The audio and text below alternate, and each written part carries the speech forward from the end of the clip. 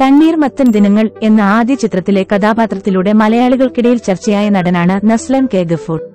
പിന്നീട് ഹോം കേശു ഈ വീടിന്റെ നാഥൻ super Sharanya Jo and Jo Neymar തുടങ്ങി നിരവധി ചിത്രങ്ങളിലൂടെ നസ്ലൻ കൂടുതൽ കൂടുതൽ പ്രിയങ്കരനാവുകയായിരുന്നു. താരത്തിന്റെ തന്മയത്വത്തോടെയുള്ള അഭിനയം തന്നെയായിരുന്നു അതിനുള്ള പ്രധാന കാരണം. ഒടുവിൽ മെയിൻ നടനായി പ്രേമലു എന്ന ചിത്രത്തിൽ പ്രത്യക്ഷപ്പെട്ടതോടെ നസ്ലൻ മലയാള സിനിമയിലെ പുതിയ താരോദയമായി മാറുകയായിരുന്നു.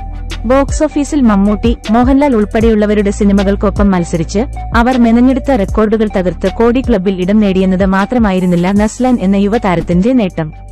മോഹൻലാലിന് ശേഷം സോളോയായി നൂറ് കോടി ക്ലബിൽ കയറുന്ന നടൻ എന്ന ഖ്യാതിയും നസ്ലന് സ്വന്തമായിരിക്കുകയാണ്. നിലവിൽ ആഗോള കളക്ഷനിൽ മലയാളത്തിൽ നിന്ന് നൂറ് കോടി ക്ലബിൽ ഇടം നേടിയ അഞ്ച് ചിത്രങ്ങളിൽ ആദ്യ രണ്ടും മൾട്ടിസ്റ്റാർ ചിത്രങ്ങളായ മഞ്ഞുമ്മൽ ബോയ്സും രണ്ടായിരത്തി പതിനെട്ടുമാണ്. മൂന്നും നാലും യഥാക്രമം മോഹൻലാൽ ചിത്രങ്ങളായ പുലിമുരുകനും ലൂസിഫറുമാണ്. ഈ ലിസ്റ്റിലേക്കാണ് നസ്ലൻ എന്ന ഇരുപത്തിമൂന്നുകാരൻ തലയെടുപ്പോടെ പ്രേമലുവെന്ന സോളോ ഹിറ്റുമായി നടന്നു കയറിയത്.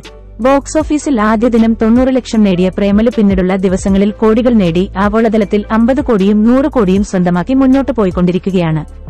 കേരളത്തിൽ നിന്ന് മാത്രം അമ്പത്തിമൂന്ന് കോടിയോളം രൂപ പ്രേമലു നേടിയെന്നാണ് ട്രേഡ് അനലിസ്റ്റുകൾ പറയുന്നത്. നിലവിൽ തിയേറ്ററുകളിൽ വിജയകരമായി പ്രദർശനം തുടരുന്ന ചിത്രം തെലുങ്കിലും ഭേദപ്പെട്ട കളക്ഷൻ നേടുകയാണ്.